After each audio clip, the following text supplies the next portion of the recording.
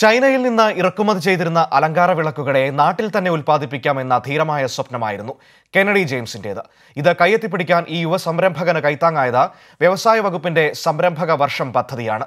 ഇടുക്കിയിലും യുവാക്കളുടെ സംരംഭക സ്വപ്നങ്ങൾ യാഥാർത്ഥ്യമാവുകയാണ് സംരംഭക വർഷം പദ്ധതിയിലൂടെ.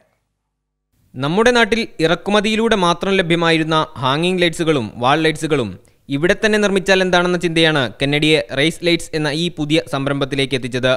ദീർഘകാലമായുള്ള ഇലക്ട്രോണിക്സ് വിപണന മേഖലയിലെ പരിചയവും ഇതിന് കൂട്ടായി. എഴുപത്തഞ്ച് ലക്ഷത്തോളം രൂപയായിരുന്നു പദ്ധതി ആരംഭിക്കുവാൻ മുതൽ മുടക്കായി കണക്കാക്കിയത്. പണം കണ്ടെത്തുന്നതിലും പിന്നീടും നിരവധി പ്രതിസന്ധികൾ ഈ ചെറുപ്പക്കാരന്റെ മുന്നിലേക്ക് വന്നു. ഓരോ ഘട്ടത്തിലും സർക്കാരും വ്യവസായ വകുപ്പും താങ്ങായി നിന്നു എന്ന് കെന്നഡി പറയുന്നു. ഞാനൊരു രാഷ്ട്രീയത്തിലുള്ള ആളല്ല. ഒരു രാഷ്ട്രീയത്തിനോട് എനിക്ക് ചായവുള്ള ആളല്ല. പക്ഷെ ഞാനതൊന്നും ഉൾക്കൊള്ളാതെയാണ് ചെന്നത്. ചെന്ന് കഴിഞ്ഞപ്പോൾ നല്ല രീതിയിലാണ്. വ്യവസായ ഓഫീസിൽ നിന്നാണെങ്കിലും നല്ലൊരു സഹകരണം അവർ ചെയ്തു തന്നെ. അപ്പോൾ പഞ്ചായത്തിലെ ഒരു പേപ്പർ ശരിയാക്കാൻ ചെല്ലുവാണേലും അവിടെ സർക്കാരിന്റെ ആളവിടെ ഉണ്ട് വ്യവസായ ഓഫീസിന്റെ ആളുകൾ അവിടെ ഇന്റേണലുകൾ അവിടെ ഉണ്ട്. അപ്പോൾ അവരാണെങ്കിലും നമുക്ക് വേണ്ട സപ്പോർട്ടെല്ലാം ചെയ്തു തന്ന് പെട്ടെന്ന് തന്നെ എല്ലാ കാര്യങ്ങളും ഫാസ്റ്റായിട്ട് തന്നെ ചെയ്തു. ഏകദേശം ഒരു ഇരുപത് ദിവസം കൊണ്ട് ഞാൻ പദ്ധതി സ്റ്റാർട്ട് ചെയ്തു. തുടക്കമിട്ട് ആറു മാസത്തോടടുക്കുമ്പോൾ വലിയ വിജയത്തിന്റെ പാതയിലാണ് ഈ സംരംഭം. പത്തോളം പേർ ഇവിടെ തൊഴിലെടുക്കുന്നു.